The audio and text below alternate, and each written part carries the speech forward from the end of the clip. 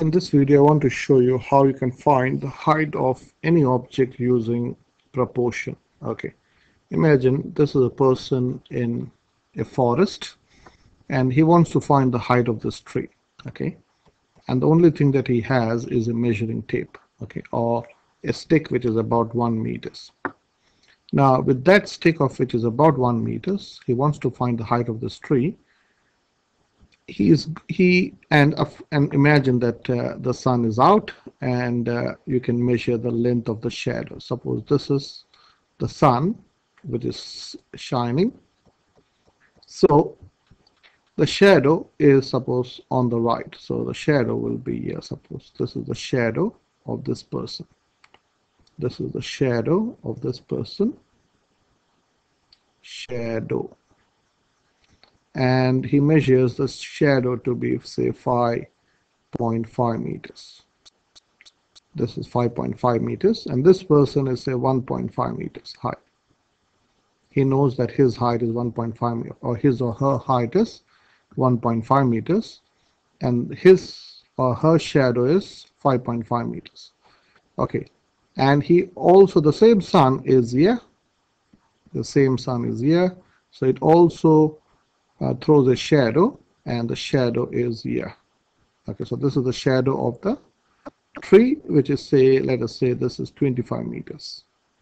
This is 25 meters and you want to find the height of the tree. So let me draw a triangle. Okay so this is a right angle triangle. So I hope you can see this. Okay so let me bring this slightly to the side. Okay. So these two triangles are similar. Okay. So let me draw a triangle from here to here. So this is the okay. So this is a right angle triangle and this is also a right angle triangle. So let me draw two right angle triangles so that you can see it together. So this is this this is a right angle triangle of this person. This person is 1.5 meters and the shadow is 5.5 meters. So this triangle is similar. Suppose this is a longer triangle, a bigger triangle. This is a right angle triangle. Okay, this is only a sketch. Okay, so this is the tree. So this is the man or the woman.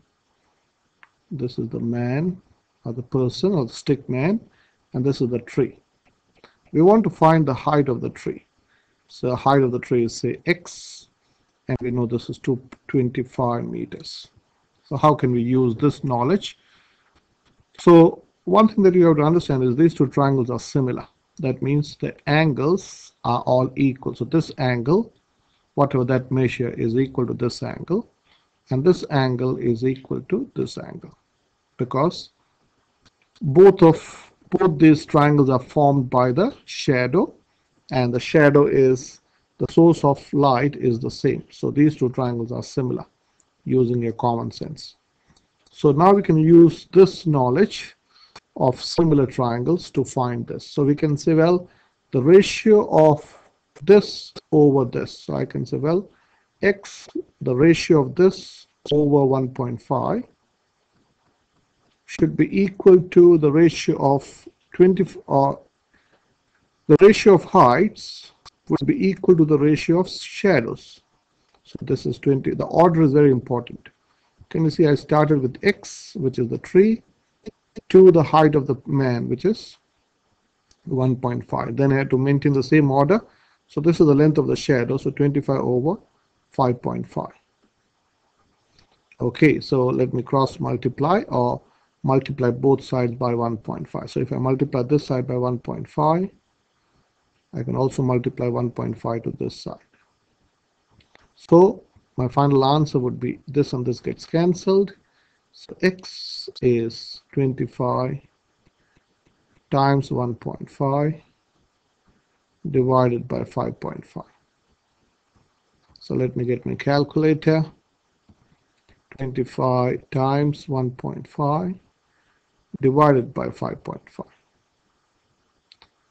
which is 6.8 or about 7 meters so this is 6.8 meters 6.8 or roughly you can say this is 7 meter. The height of the tree is 7 meter.